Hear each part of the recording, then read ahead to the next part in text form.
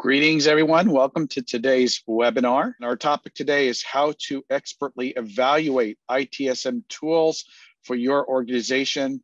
Our webinar is sponsored today by ISOS Technology, at Atlassian, and my company, Star CIO. Uh, my name is Isaac Sacolick. I lead a company called Star CIO. I'm also an author of two books, Driving Digital and Digital Trailblazer that you see sitting behind me. Um, I spent a lot of my time working with organizations around Agile, DevOps, and a ton around ITSM. Um, I write for InfoWorld and CIO and speak at events yearly. I uh, just want to go through some housekeeping with everybody so you know um, how we're doing this today. We are recording uh, this episode, so uh, just be aware of that. Uh, that recording will be available after the webinar. So if you step away or miss a detail, uh, you'll be able to get access to that as well as sharing uh, the webinar recording with your colleagues and friends of interest. Uh, we will be answering questions as they come up when relative. So if you have a question, just throw it up in the, in the Q&A uh, area in Zoom. Uh, if it's relative to the conversation, I have the window open right in front of me. I will answer that that question right there and then. Uh, if not, we will have time at the end of the webinar uh, to be able to answer your questions. At this point, I would love uh, to invite my panelists to join me. Uh, first up is Andrew Bowman. Andrew's the Director of Strategic Accounts and Pre-Sales at ISOS Technology. Hello, Andrew. Tell us uh, a few things about yourself and what you work on. Hello, Isaac, and thank you everyone for joining the webinar today. So I'm Andrew Bauman. I'm born, raised, and based in New York City. That's why I'm using my New York City background. Uh, and I've been part of the Atlassian ecosystem for eight years, doing a variety of different things, implementations, et cetera. But my specialty over the years has, you know, kind of become ITSM. And so I've helped a ton of my customers evaluate their tooling, decide what tool to pick based on the number of different criteria. And I also have several ITIL based, you know, specializations and certifications. So happy to be here today. Thank you. And thank you, Andrew. And our second guest, uh, Michael Santos. Thank you for joining us. Michael is a senior ITSM pre sales solutions engineer over at Atlassian. Hello, Michael. Tell us about yourself. Uh, my name is Michael Santos. I'm a solution engineer at Atlassian. I've been working with various other ITSM solutions for the past 20 years. So my entire career has been service management, and I love helping my customers find some pain and then seeing what types of products we can use to solve that pain. Thanks, Michael. Looking at pain and opportunities. I just want to invite everybody who's on the webinar. We have three experts with you uh, one from Atlassian, a solution provider, one from ISOS, a partner in implementation, and myself, who's been implementing all kinds of IT processes, ITSM, Agile, and DevOps for 20 years. So you have three experts in the room. Take advantage of us. I want to start with a very simple question to start this off of because we use this word service oriented in a lot of different areas in IT and even outside IT. Um, so I want to just set the ground straight. You know, what does it mean to be service oriented and how can leaders evaluate their current environments? Uh, Michael, where do you want to start with this? Yeah, I, I think the, the whole service oriented side is more geared toward an organization's goals versus an individual uh, goal. So if a um, typically you think of help desk as the precursor to service desk, it's what's problem with me, uh, not opposed as opposed to what's going on with the service that maybe everybody is using at an organization. So uh, to me, it's an organization that is really focused on delivering service, and that service could be anything to uh, an employee could be you know, putting in a request for an application or getting access uh, to some system that I never used before. Uh, and then from the, the tracking side is that that's really what drives us to use an ITSM solution is to get the data back. So how do we track that info? Thank you, Michael. And Andrew, tell me a little bit more about this. Is like a view from a customer's lens. You know, they're trying to get some work done. They're stuck with something. They have a request. They may not even know the difference between an incident and a request, you know, and uh, so much of what we do is how do we fulfill it. But a lot of what ITIL v4 is talking about is how do we bring value back to our customers. Can we talk a little bit about that in terms of service orientation, value to Absolutely. customers and customers? Absolutely. The, and that's exactly how I think of service orientation when it comes to our implementations is, you know, ITIL talks a lot about this concept of value co-creation, which is you as maybe the service provider and your customer as the service consumer co-creating value today. And the easiest example I always go with is incident. And so making sure that your customer, the, you know, the value they're bringing might be the their day-to-day work responsibilities. And so in order to co-create value, you want to reduce as much as humanly possible the time it takes to restore their service after an incident. And so when you think about it from that lens, you should always be making incident management quicker and easier to be fulfilled because value is being lost as their service is being disrupted. Yeah, you know what I think about there is I remember walking into one group and uh, doing an assessment and looking at their request form, and it had maybe 25 fields on it.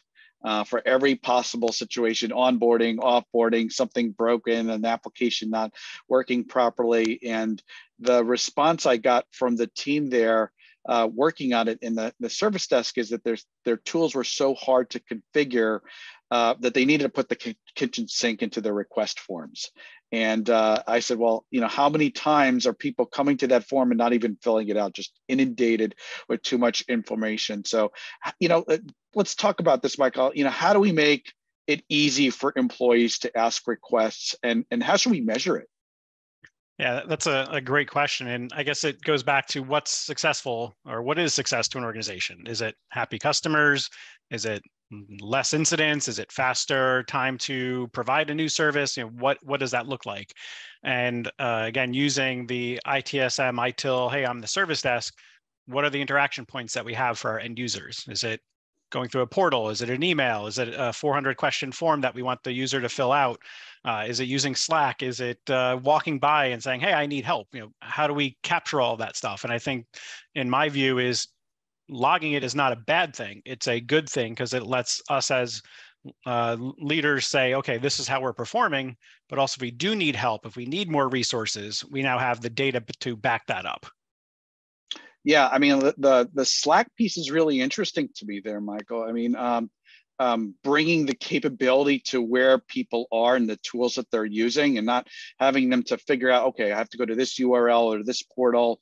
Um, i'm right in my area of working and i could just click a button or open a window or say something and uh, get people's attention. I, I, think that's so important, Andrew, because we think, you know, we still have this notion of service desk, the, the old Saturday Night Live skit where there's like people just working on desktop support and so much more of service orientation hits, you know, I'm you know i'm doing those things but i might have a problem with an application. I might need access to something um, there might be a third party service provider providing services around an erp and another one providing services around your crm and in the last three years maybe we've done some acquisitions and you know some people are on one platform and some providing services on another platform. How do we think about being service oriented when we have a little bit of technical debt behind us and we have complexity in how we're servicing customers and i and i love the way you to paraphrase what you said about meeting people where they are to give you an example of, of a customer that we worked with recently not only were they deploying Jira Service Management for an IT help desk, they had an HR component, and they also had, like you were mentioning, a third party provider actually working on some of those tickets too. And in the back end, it was a lot of automation and integration with the third party providers tooling. So everyone got their right tickets. But on the front end, again, you're kind of, you need to meet your customer where they are. And so they're not going to have any idea if this is going to HR or IT or this third party provider. And so when we set up the portal, we used the kind of a the simple search bar in, in the, the front of the page to help guide them to the particular request. You know, if they put in that they needed benefits help, it would take them to HR versus if they needed a particular type of application support that might go to that third party provider or not, the customer had no idea. Again, making it simple for them, meeting them where they are, but then also handling it in the back end appropriately. Super. So we, you know, today we're talking about how to expertly evaluate your ITSM tools, and we're talking a pretty wide scope of how ITSM tools are used today. Uh, I think we're ready for our first poll. Uh, we're sort of interested uh, in your vantage point, the tools that you're using at your organization. I find most organizations are clicking more than one box here. So we made this a multiple choice, select as many as apply. I think that's how this is configured. Um, some of these tools have been around a very long time. Uh, and uh, there's some not even here that I remember from my days being back in CIO that platform X was superseding platform Y. Uh, so a lot of change in this space. It's because of what we just talked about, right? A lot of new capabilities, new ways of integrating workflow, new automations, and we're going to talk all about this. So let's just see where this poll netted out. Okay, so we got we got a fan base here. 12 out of 14 uh, on, on, on Atlassian, and then we see some ServiceNow and some others. Uh, welcome, Atlassian fans. We're going to be talking a lot about how to use this tool and how to continue to evolve your uh, uh service management processes. Uh, if you're using ServiceNow, we're going to talk about where you can get benefit from being on an Atlassian tool, but also thinking about that federated model, right? Not that federated model where I probably have other service providers. I was working with a client yesterday yesterday. They're on a platform and they're using a service provider that's using something else. And how do we connect the dots and make sure we have a, a closed loop system around this? That really gets into this question of how are we using our tools?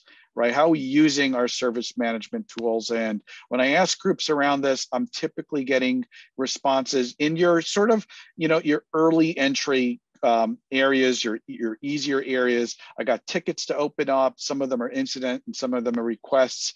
And then it bifurcates, right? Uh, we have lots of different areas that different groups go into depending on their problem and focus areas. Andrew, take us through this maturity model a little bit.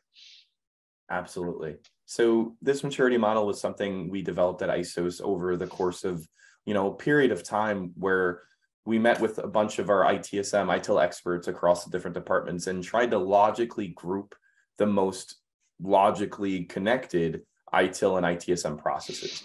And I'll give you two different examples of how we use this with our customers. And actually, both examples are for the same customer.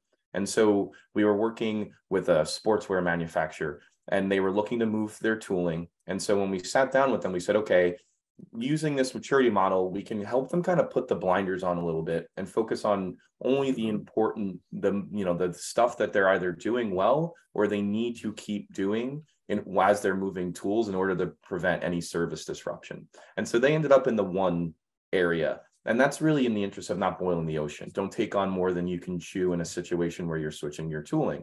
But if you're more in the situation where you're staying on your tooling, you're just evaluating how you use it and you're looking at your processes, it could make sense to jump up an area. And so for them, after we went live with number one, which is incident change, kind of all the basics, they went up to number two. And so that was actually the second project, which was basic asset management, basic uh, major incident event management.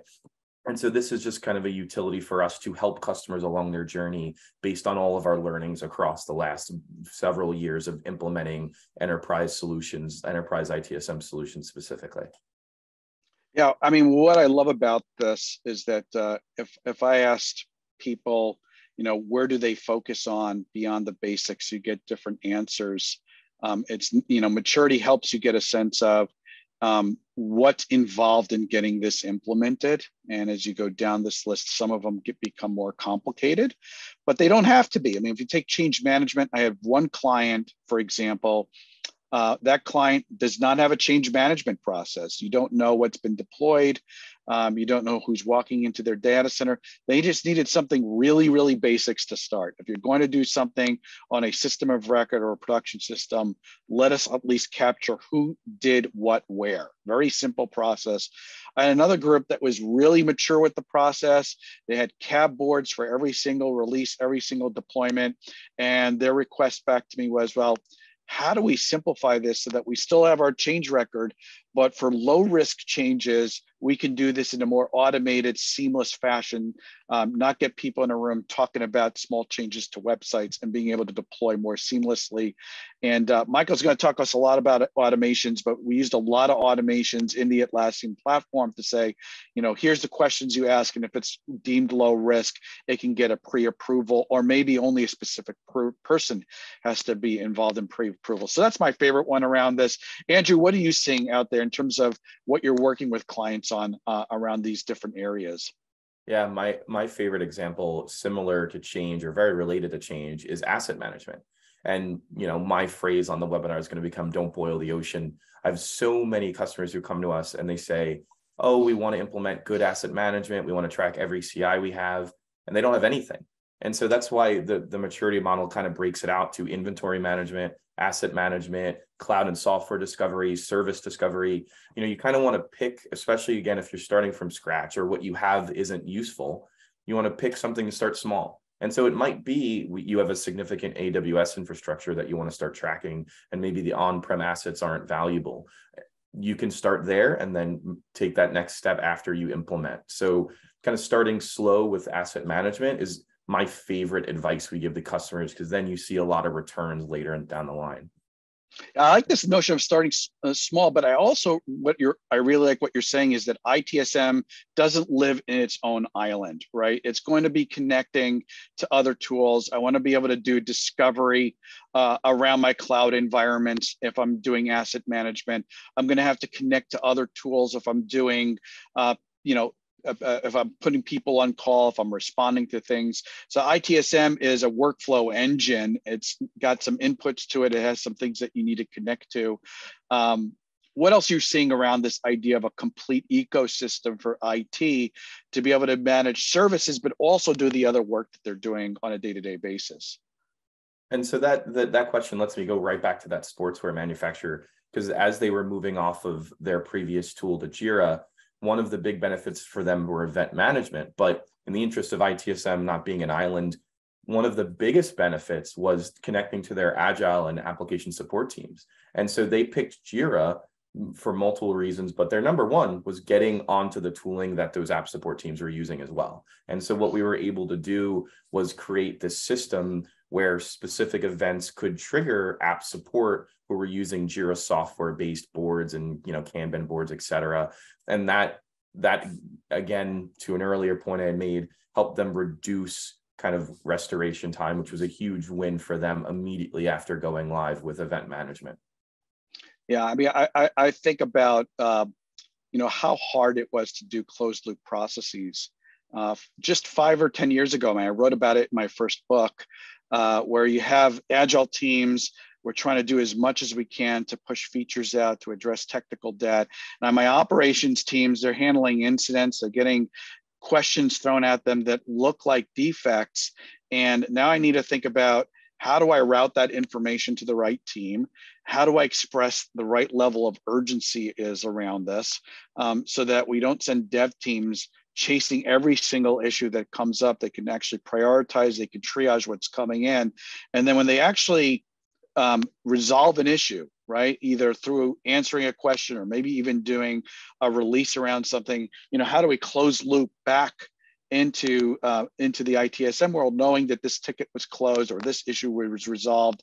Um, it's connected to this change process, and we know how to get back to our customers again about that uh, change. Michael, how do we do this? Right? We could do that. You know, what's the missing ingredient that makes this possible?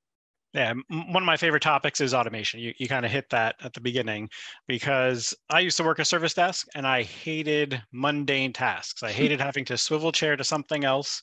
Uh, I hated having to manually do something. So, one of the first things I ever did was automate simple responses. If I didn't want to have to ping a customer, hey, did that work for you? Because I could go focus on answering my phone calls that are back, backed up or uh, answer things that are coming in through the portal. So, automation for me is big because it frees up our resources to really focus on that service delivery. Because again, ITSM is really what IT does. It's service to the end user and making them happy and not constantly complaining that we're not doing things. And if that allows us to then say, okay, yes, we intake your request, we then jump it over to development that's using Jira software to then roll out code changes and using Bitbucket and then coming back to the service request and letting us know it's been done or maybe tying it to change management to get approval before we do it. It saves a lot of time and effort and makes us uh, really provide, again, to Andrew's point, more value back uh, to the organization. Right. So, so you know, ITSM is not on its island. Our workflow is going to connect across departments. It's going to connect across systems. I even think about things like connecting to customer support system. You know, an actual customer, paying customer, is calling up your customer support line, having an issue, and it turns out that customer support now has to escalate this as an IT issue. IT resolves the issue, and now we need to close back and and being able to close that issue out with an actual customer. Uh, one part of this is automation, right? How do we know this is working, uh, Andrew? You know that where we need to do some process improvement. What are we using so the, to do that? So this is my favorite topic to steal Michael's intro, um, but it's KPIs. And one of the reasons it's my favorite topic is related to the overall, you know, goal of the webinar about evaluating your ITSM tooling if you're considering a move, you should be tracking those KPIs now. And so even if you think you're doing a bad job, right? Some, you know, the, you've got your basic statistics like created versus resolved or resolution time, or some more advanced statistics like successful change percent, alert resolution time. You know, if you're trying to prove that your influence has improved those process areas by moving to a new tool, revitalizing those processes, making them more efficient, you should be tracking those KPIs now so six months down the line, you can show that improvement directly to those KPIs you picked with your executive team. Super. I mean, so there's a lot to this because even when I think about KPIs, I think about what my priorities are right? What are my short term priorities? If you're very customer focused, I'm going to be thinking about um, how do we ensure that we're closing out issues properly? You know, are they closed out quickly? Is there a, good customer satisfaction score going on around them? If I've met that objective over six to nine months, we're sort of seeing that increment um, and plateau. Now I'm thinking about operational efficiency. What percentage of incidents and requests coming in are being resolved by frontline support? and maybe what percent are being done by self-service and what percent is being done uh, by uh, automation or what percent we have to go to level two or a DevOps team. So now I'm getting into an operational efficiency. So when I think about, you know, how do we expertly evaluate, can it continue to take me down a journey, right? The journey of more things I want to provide services on, more maturity around my services, and then ultimately more value. Uh, I think that's going to get to our second poll here. I think this will be useful for everybody here to see what your peers are thinking about. Uh, what benefits of ITSM are important to the organization over the next 12 months? Uh, and that's very key to me. I know we live in organizations that try to prioritize everything. Um, and uh, what we find out is trying to do too much of everything ends up with too little of nothing. Um, so let's talk about what you're really focused on as an organization. We put up a bunch of these. Wouldn't surprise me if many of you have one or two of these um, on the forefront uh, and uh, looking excited to see what you guys come back with. So uh, uh, let's keep that poll open a few more seconds and then we'll see what, uh, what our response is. Okay, let's bring our response up and see what we ended up with. I am not surprised by this. Um, Andrew, I don't know how you feel about this. I'm going to give you a chance to comment on this, but we've got what I call a sort of peanut butter spread, right? And we're talking Absolutely. about op efficiency and uh, reduced costs and spending is the top two. Um, I think that's kind of part of where our industry is at right now. You know, there's been some companies with um, experiencing layoffs. There's been um, talk, or depending on your industry, an actual recession. Um, and we're trying to just do more with less. I, I don't know what you're think, seeing, but I'm seeing that, and that means helping your workflow and your tools work for you. Right? How do you become more efficient because you're doing automation, or because you have better information on what you're prioritizing? What are you seeing in here? Yeah, the, the exact same answer. You know, and I'm I'm I'm not surprised by the peanut butter spread, but I'm also not surprised that that operational efficiency um, answer is number one because I think that's the trend we're seeing more often than not. Sure, we have a handful of customers who are just reducing budgets flat, but it's more about okay, we've got what we've got, and how do we make it more efficient and get quicker with more automation and integrations, et cetera. So that improving that efficiency is exactly what we're seeing out of a ton of our customers nowadays. Very cool. So let's let's shift to the next area where we talked about um, ITSM, and we're going to get now into the evaluating. How do we research ITSM's tools? It's a pretty mature space. I mean, it's not like a new thing that we've had service and help desks. I think the scope has expanded. Um, certainly, the um, experience that we are trying to deliver to customers that has changed a lot. Certainly, the automation has changed a lot over the last few years. Uh, the ability to scale and handle some of the problems I talked about, you know, servicing multiple tickets uh, across different systems, that's changed a lot over the last few years. Um, so I'm, I'm kind of interested in your do's and don'ts, right? Lots of tools out there, mature space. You know, how do we go from we recognize we can do better than what we have. We want to move off of legacy platforms and look at some things that are going to be a little bit for for uh, forward looking. So, Michael, share with me a don't. What are some things that we don't do when we're researching platforms? Yeah, uh, it is not a mature. Uh, it's a very mature space because again, I've been in it 20 years, so I've I've seen some very cringy things that have happened, and the big one is always focusing on uh, a replacement to do the same exact thing that you've been doing before, whether it's three, five, seven years down the, uh, from prior. And just because you were doing it one way back then doesn't mean that it's still applicable now and it's it's looking toward the future so i think uh, a lot of our customers get in that um, mindset of okay let's build a feature spreadsheet of what we're doing today how it's exactly done in the tool but not uh, that we're using and not open up to what we could be doing or where we want to be in the future. Uh, and then it also goes to the users who's driving the, the change. Are they the ones that's then influencing, well, what do we need in a tool right now versus what we could be using in the future? I hear you. Like I hear it all the time. We are an X shop and you know the door is just shut closed. We're not even going to listen or look at what's out there. And, you know, I know a lot of you said you're using Atlassian tools. Atlassian's got a wide range of tools. I've also heard, you know, we're using Jira software, but we're not going to go look at Jira service management because we have X involved. Uh, and so now I want to spearhead this conversation, Andrew, right? I want to get people interested in looking outside of the box that we're living in. Um, how do we do that efficiently? So I'll tell you, it's definitely not by creating a spreadsheet with a thousand rows in it and evaluating every feature. And so that's my big don't. It's analysis paralysis, right?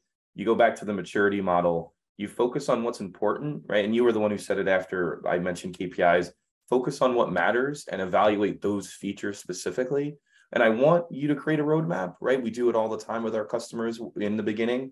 And I want you to evaluate those features, but don't create that spreadsheet, right? You want to move quickly. You want to see the value of your project and your implementation. If you're moving off a tool, don't waste six months evaluating every single little thing a tool could do.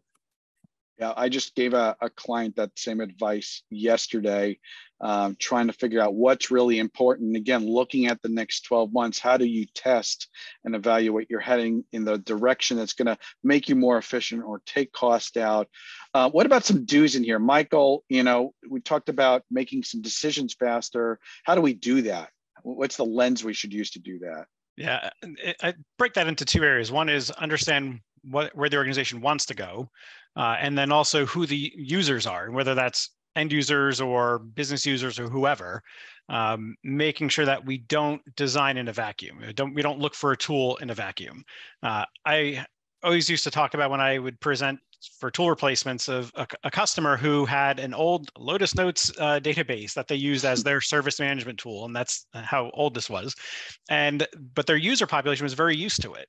So what they decided to do is like, oh, we have all these nice shiny bells and whistles. Let's just roll it out. Don't ask anybody about it. It's we're our own mind in, IT saying this is what it should be. The portal adoption was horrendous. Uh, they dropped because users didn't know the terminology. Uh, they didn't um, uh, understand what they're supposed to click on. To Andrew's point, where hey, you had that big search box where you just typed in something and it would guide you that didn't exist. So i think a good do is to get involved with the users do design workshops pull your users to see what they're doing or maybe if here uh, i've been on a couple um, uh, scenarios before where they give different designs. Hey pick which ones you like the best and why and then you can kind of maybe collaborate and, and build a better solution going forward. Yeah so i think where this is going to take me you know going back to what I said earlier, we're not going to create one giant form to service everybody in our organization because we know that doesn't work. We have different departments with different needs in terms of what they're going to request, what's the most likely thing they're going to answer. We I know some organizations they offer a VIP white glove service, very different way of handling it than your employees and, and maybe even field employees are handled differently. So my scale just got bigger right? I'm doing trying to do a ton of more stuff with my ITSM tools. How do I do this, Andrew? I mean, it, it, I, I just doubled my scope, but I'm trying to get more efficient. It, and so when you're evaluating your tools, one of the biggest things should be evaluating how quickly and easily it is to create those automations to support those different levels of end users, right? I'll, I'll give you an example from my past. You know, eight years ago, I used to work on a a piece of software in the ITSM space that required three full-time you know employees just to keep it running D- dba networking et cetera. You're not going to be able to dedicate and take look at the poll. You're not going to be able to dedicate time to improving your efficiency if number one you're spending all the money just keeping the software running and number two, it takes forever to even build those automations. So one of the biggest pieces of advice I can give you in a do is don't forget about that. Don't forget that you want to continue to improve the efficiencies of your processes and your automations and evaluate how long it takes to do those kind of things in your tool selection. Got it. So let's go one level deeper around this. Let's talk about and capture and discuss what people are actually trying to do. You know, going back to your 16, I keep making up that number. I don't know how many rows you have in your maturity model. I didn't count it, but there's a lot of areas, and there's areas in there that we didn't even capture. I mean, I know some groups using Jira Service Management to work with HR on their request management processes. So a lot of enterprises are looking at it very broadly. So let's look, let's do our third poll. Let's go beyond basic request and incident management, change management, the basics. We know we have kind of a Chinese menu of where we're going to go to. Kind of interested in what your focus is. And you got a multiple choice here, but I'm going to ask you to do the same thing. Prioritize me, right? Tell me what the next couple things that you think your organization should focus on, um, that you're going to use your basis of looking at solutions or you do a basis of doing a POC around this, because love to hear uh, where people are thinking as you're trying to take cost out or become more efficient or become more collaborative where where are you focused on? So let's leave this open a little bit um, we're not going to take a final four answer around this. It's just too hard to predict on this one. And uh, when you think we have consensus, let's bring this up.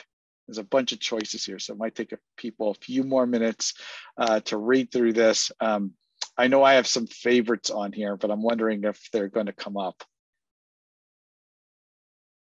All right, let's close the poll out and see where we're at on this.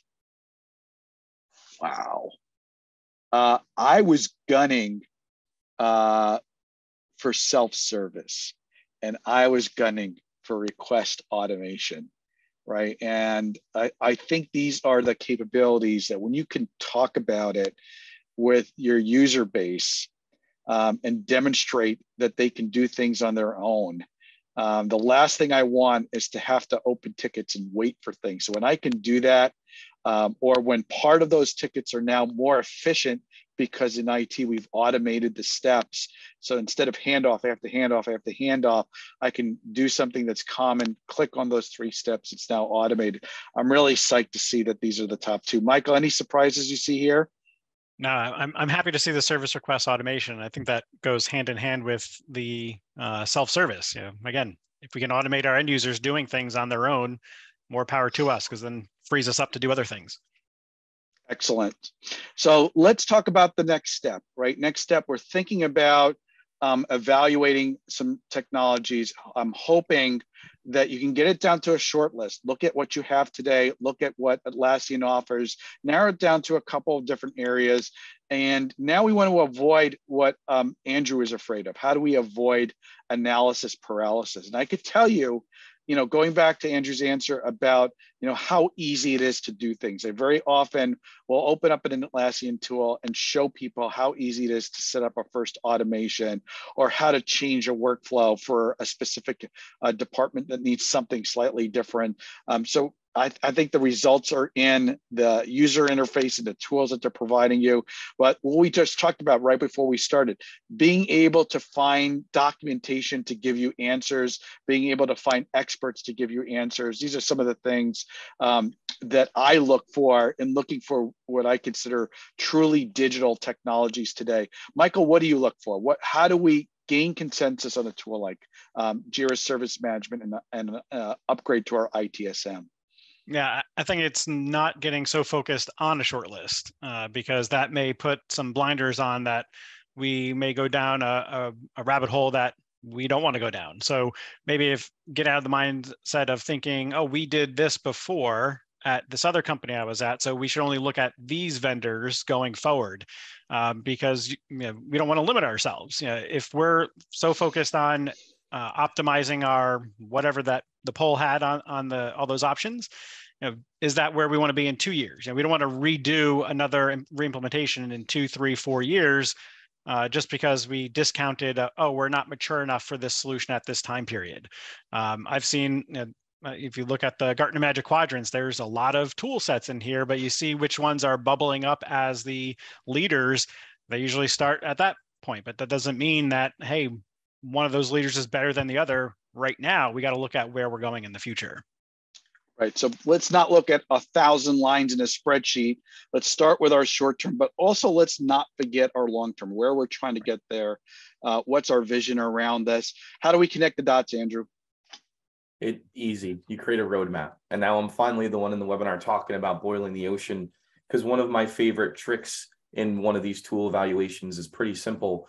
It's you you focus on exactly as michael said what's your short-term vision but you're going to have people who want that longer-term vision. They want you know asset, sophisticated asset discovery sophisticated event management. And so when you when we work with customers we'll actually literally create a two three year roadmap that shows how they're going to get there. And that'll help you deal with those stakeholders who are trying to push their priority. It's a lot easier to tell them we know your priorities are important we'll get there as opposed to telling them it's not on the roadmap at all. So actually creating that two to three year roadmap will help you with gaining consensus yeah, I love that too. And I, and what I also would suggest around this is sometimes when I hear something is midterm, right? Maybe it's not in the six to 12 month plan, but we better be able to do that in 12 to 24 months. I love looking again through the Atlassian documentation, through the marketplace, right? If I can find three or four options in the marketplace to go do something, maybe I don't need to invest time into researching all of them,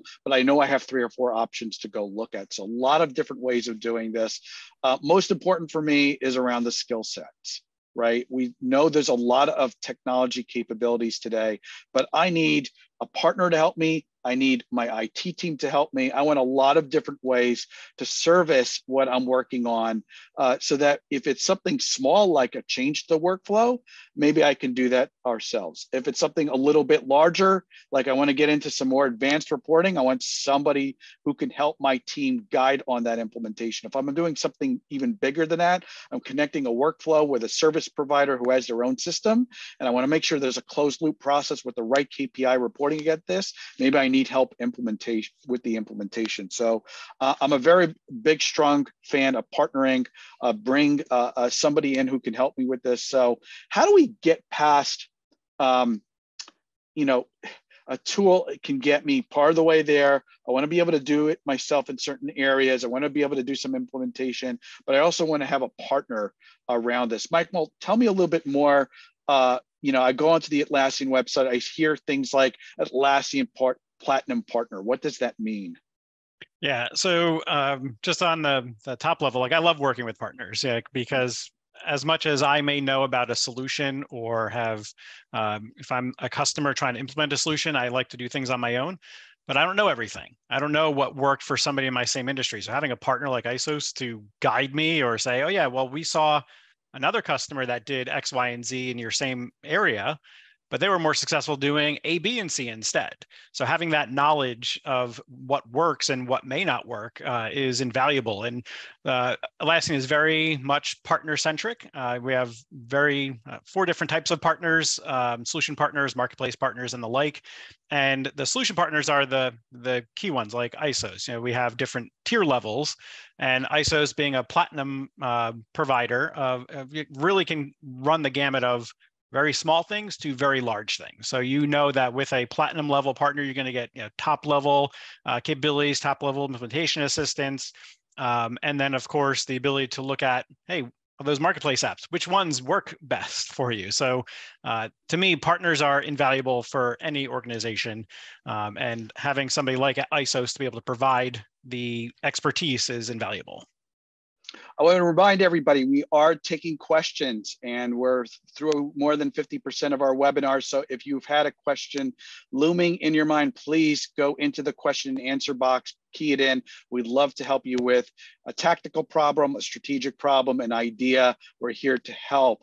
Andrew, uh, you know, I think about the implementations that I sometimes walk in. This is across all technologies. You can see, you pick the technology and it's taking 18 months to implement. So I'm always looking for a partner who has going to help me on ramp, is going to let me migrate over to something.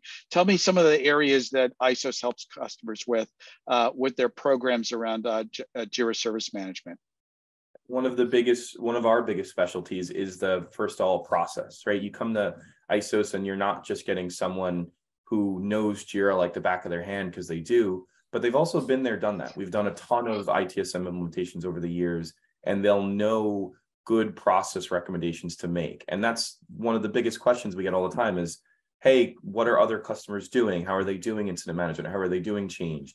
We're bringing that with our engineering team. The our ITSM specific practice has over 13 years on average. Almost half of them are ITIL V4 certified or better, you know, specialist level. So you're getting that good process knowledge, that good implementation knowledge, and and again we've done it before. So we've moved off of almost every single tool under the sun. So we know how to do it. We know how to train you on it as well how to equate terms that you might be used to in your previous tool to what works in jira and that's kind of the expertise we're bringing as opposed to you doing it yourself where there might be pitfalls you didn't know about but we know about them because we help customers move past them all the time you know one of the things i hear a lot about help, help me out with this is that uh, um, more organizations are doing a lot more with their technology than they've ever been before. And so, you know, when we think about what IT is responding, we're, IT, we're responding with our standard service offering. What does the enterprise require? But when I work with hospitals, when I work with government, um, there's one group, at least one group that's 24 by 7, right? There's one group that's I want to provide white glove treatment. How do we think about that when I'm working with a partner? And that's one of the other areas of expertise we bring is not just focused in on ITSM or ITIL, but it's that vertical experience, right? We've done those implementations for hospitals. Actually, my first ITS implementation when I got out of college was for a hospital up in Boston. And nice. not only that, but also government, higher ed, et cetera. And so dealing with those use cases, right? You know, we did an implementation recently for a hedge fund and so dealing with that that kind of the situation where those guys were trading all the time and they couldn't you know they weren't going to a portal and spending 30 minutes searching for a request making sure that for their use case we were meeting their customers where they are was important to them. And being able to tell that specific hedge fund that we had worked in finance a bunch really resonated. And so depending on where you are knowing we can bring those examples again is just helping you make sure you set yourself up for success Andrew, we used a word uh, before called co-creation. It's a, a, word I used in a, a, blog post recently to explain to folks how to think about working with partners. And, you know, there's a couple of use cases that I think about ISOS around here. I, I think about that DevOps use case we talked about before. What are my options when I need to connect an agile team to a set of SREs, to a set of um, ITSM folks um, handling problems. Um, I think about connecting the support I'm providing in-house, what the support a vendor is providing around a partner. And I think a lot about when I do uh, migrations, a lot of that is M&A oriented. Somebody's on tool X, you know they have certain services built into it they're organized in a certain way i'm looking for options right how do you think about um, handling these different situations so that you are co-creating it, the when we like to look at it especially in those more complicated scenarios we're always sitting the customer down and giving those them those options up front right my what what I like to teach from a analysis architecture perspective is you've got to understand the customer where they are, where what they're trying to achieve from integrating all these different use cases together. You've got to give them a couple of different examples of how it could work, and then you give them that recommendation. You say, "What I've seen work before is this, but the, here are some other options for us to consider too." You're you hit the nail on the head. It's about not only is it about you co-creating value internally with all your different stakeholders, but it's us co-creating value with you right? We want to make sure that we're we're giving you good recommendations that will work for your organization. We also want to give you options so you can kind of consider okay maybe i use an integration with a third party integration tool or i do it with like a python script and we'll walk you through those examples and decide together how we move forward to solve your problems uh, thank you, Andrew and Michael. I want to remind everybody, uh, send us your questions. We're almost at the Q&A area. Uh, I do want to summarize some of the key points uh, that we left with you. Uh, number one, focus your review around the short term. Uh, what do you need to do or what are your opportunities over the next 12 months? But like Andrew and Michael said, think long-term, have a long-term vision and build a roadmap out around that. Um, look at the maturity model. There's a lot of different things that groups focus on there. But again, pick the two or three areas that are going to deliver the most value and really execute them um, from an early stage perspective. How do we get that capability out? And then how do we mature that particular capability going forward? And then lastly, you know, there's some things I really want teams to be self-sufficient on in terms of being able to do things themselves, make quick changes. But I know we support a lot of different technologies and tools in IT today. Being able to co-create a, with a partner when I'm doing something that we've never done before, uh, and that's the number one reason I'm looking for long-term partnerships. I've also left with you here in the summary. Uh, there's a blog post I wrote for ISOS a few weeks ago.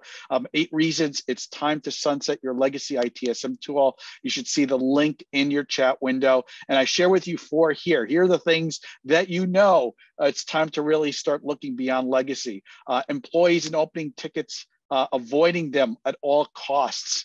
Um, I shared a story earlier today with a group. Um, the tickets aren't coming in because they're calling people up and they're hanging up they're they're not putting uh, they're not leaving a voicemail, and the ticket is never showing up in their ITSM tool because they don't have that integration involved. Uh, too many clicks to manage a ticket.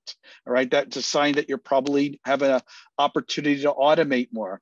It lacks a mobile interface. Right, maybe we could have gotten away with that the last few years during the pandemic, but most people are remote, working remotely on travel, want to be able to make sure they can do requests while they're on the road, um, and then the inability to create self-service options right? When i go to the portal uh, i want to hear what the person's problem is but i also want to educate them hey you can go uh, uh, fill out an extra form a very customized form three questions and you can actually service a problem yourself. So i leave you four more in that blog post. Um, i hope that you will join uh, and review them. Um, isos also has a white paper that I hope you will review, uh, a modern ITSM solution for an evolving IT landscape. So if you didn't get enough of it from here, um, I hope you'll download that white paper from ISOS. It's at the URL isostech.com slash JSM dash white paper. And uh, Andrew, you've been telling me about this, this workshop that you do in ITIL. Uh, please tell everybody about this. Yeah, and so for everyone attending the webinar today, we're offering a complimentary ITIL workshop the idea behind it is you bring the process that you feel you need the most advice on. So that might be incident or change enablement. And you're getting that ITIL V4 specialist I was talking about a little bit earlier in the webinar to sit with you and go over it and give you some recommendations on how you can improve. It doesn't have to be JIRA specific. I know most of you use JIRA, but if you're using ServiceNow or anything else, we're analyzing your process. So we'll get a little bit into the tool if that's where you want to go, but the most successful ITIL workshops we'll do will actually have more Visio type diagrams where we're going through the process step by step and not just giving you recommendations, but we're also giving you ad- advice on, on how to improve and make them more efficient. In addition to this, we're also going to be a we're going to have a huge presence at the Atlassian team event in April. So if you are there, please stop by. If you don't know what that is, that's Atlassian's big yearly conference. There's going to be a ton of great new product announcements, especially around JSM. If you are not going, our next webinar in this series will be a recap webinar. So feel free to join that next time in May in order to get those product recommendations or product announcements that Atlassian's going to be making at the event. Thank you, uh, Andrew and Michael. Again, we're up to our Q and A. I'm going to pick this question just came, just came in. Um, it talks about uh, customer has hundreds of locations across the globe, um, is using 1,500 JSM agent licenses and 1,500 Confluence licenses. Um, he says, or uh, yes, it's a he. He says that uh, he's solved this problem um, his goal is to significantly reduce the number of JSM licenses and Confluence licenses and improve productivity. He's, look, he's done some work around this already. Uh, faced with this problem, Andrew, this challenge, you know, how do you consolidate? How do you help the group get more efficient and working across different locations? I think that has a nuance to it also. Uh, what are some of the things you would think about or ask about, Andrew, um, to help um, this individual out? Yeah, I looking at the the problem statement here, which is basically just around reducing licenses, the easiest route to go down is a license analysis or license workshop, which ISOS actually provides complimentary as well. That'll let us just go through the number of people and kind of what are they actually contributing. Some of the things that come to mind immediately is not everyone needs to be licensed for Confluence in order to read um, articles. And similarly with JSM, people don't have to be licensed for JSM as well to work tickets if they're more of a collaborator. They can consume a Jira software license instead. So that's where my head is going and, and initially kind of around looking at the different roles and seeing if either a no license scenario could work in a Confluence or a different type of license such as the Jira software license uh, would work for JSM. But this is also eh, obviously a scenario where I'd suggest to the individual to reach out. I'd love to kind of talk about this problem more in depth and figure out a you know different answers that might work.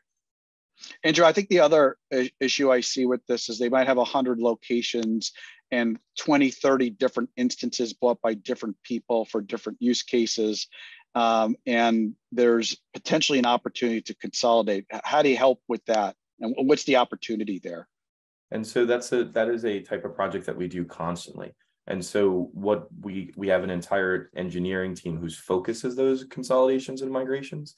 And so in situations, number one, to talk again about those licensing, Atlassian just provides a licensing model that lets you combine those tenants under the same organization, right? So that might be instant savings if people are duplicatively licensed. But then number two, if you have to go with a more technical and process combination where everyone joins on one tenant, again, that's not only something that we do all the time, but we have tons of different playbooks and scenarios that makes it really quick and efficient for us to merge those sites together. I think another use case I see around this is like of the 20 different instances, seven of them are on prem, not on cloud, on outdated versions. And of the ones that are in the cloud, maybe there's an opportunity to integrate with their single sign on technologies never done before. Are these things that you're doing on a regular basis? all the time, especially with as we move more to a, a SaaS type, you know, a SaaS first culture. Probably we're already there, right? So a lot of organizations are coming to us and asking us to help them move to Atlassian SaaS based product. Uh, there's a million dollar question here. I think we have to answer this, Michael. There's a question here about how does Jira Service Management differentiate from ServiceNow?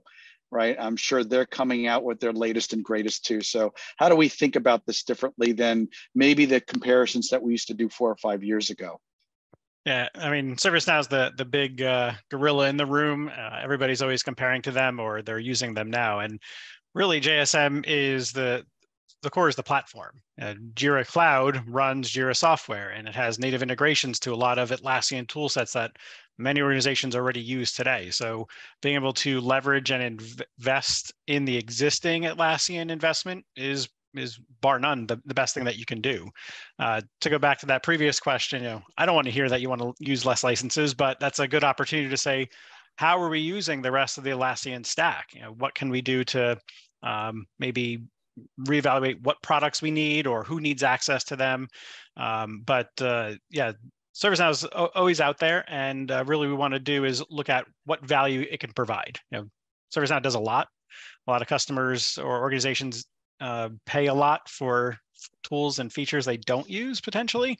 Um, so uh, Jira Service Management is great at coexisting. If there's a dedicated ServiceNow implementation of ITSM, well, maybe we can look at doing enterprise service management with uh, Jira Service Management at a fraction of the cost. Andrew, I want you to chime in on this one too, right? What are you seeing as you move customers over? Um, what are you seeing differently in their implementation when they do move over? And so the, the biggest one to me uh, is similar to another point we made earlier, is that the kind of ease of creation of automations. You know, I have so many ServiceNow customers who we've moved off that have those much more complicated scripting type automations that are hundreds of lines, very hard to maintain. And so taking advantage of Jira's Jira's GUI based automation and not only replicating that functionality, improving it, but then reducing the admin time by by 75% or more is a huge value add for a ton of my customers moving from ServiceNow to Jira. Yeah, I'll, I'll just chime in here too. I hear very often we have a team of X people just managing uh, ServiceNow. And um, what I like to hear is that we have enabled a service management tool that through a governance process has a lot more people who are capable of building, maintaining services, automating more with services, uh, getting reporting and data of, uh, out of it, and evolving what you're working on right? What you're working on today is going to continue to evolve. Um, you're going to do acquisitions. You're going to have departments with different needs. You're going to create new services. And to me, it's really back to that life cycle that we were talking about earlier that becomes really important um, as we're starting to evaluate which of our tools are legacy and which are modernized are really going to be resilient for us to improve experience and deliver more for our end users and our business. I want to thank all of you for uh, staying with us today. Uh, thank you, Andrew and Michael. Uh, thank you, ISOS and Atlassian for sponsoring today. Uh, again, I'm Isaac Sacolick. I'm the president of Star CIO. Um, if you did not have your questions answered, or you think of something after the uh, webinar closes, please do reach out to ISOS Technology. Uh, you see the phone number over there for help and an info at info, isostech.com uh, email address. Please reach out to them and go see their booth at the event. It's coming up pretty soon. So for those of you on Atlassian plat platforms, go visit ISOS at their booth. And uh, I look forward. I'll be on a future webinar. I look forward to seeing you in future webinars with ISOS technology. Thanks again, Andrew and Michael. Thank you. Thank you, everybody.